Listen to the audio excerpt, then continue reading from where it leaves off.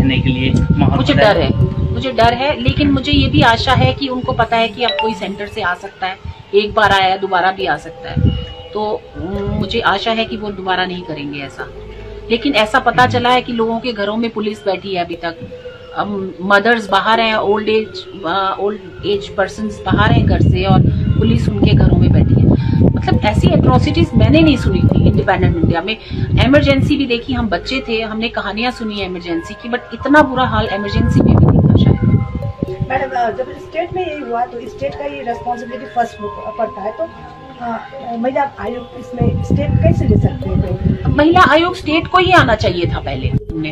तो सबको सुना मैंने और मैंने रिएक्ट नहीं किया जिसने जो कहा वो अपने मन की कम से कम भड़ास निकाली उन्होंने अपनी।